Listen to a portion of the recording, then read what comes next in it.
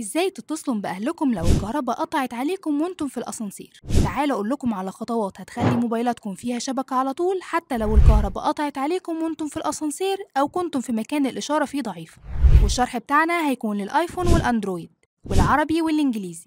فركزوا معانا ويلا بينا ندخل على الآيفون. وأول حاجة هتروحوا على ال settings بعدها هتضغطوا على ال cellular وبعدين ال options.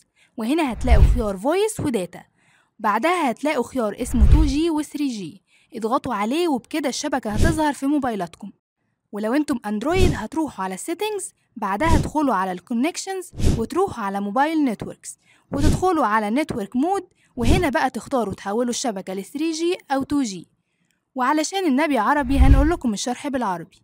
أول حاجة هتدخلوا على الإعدادات وبعدها الاتصالات وبعدين شبكات الموبايل وبعدين خيارات الشبكة وبعدين تدوسوا على 3G أو 2G وكده تكونوا حولتم شبكة الموبايل لوضع الاتصالات بتاع زمان زي الموبايل أبو زراير. جربوا الطريقة دي واكتبوا لنا اللي حصل معاكم في التعليقات. وتابعونا على مباشر مصر.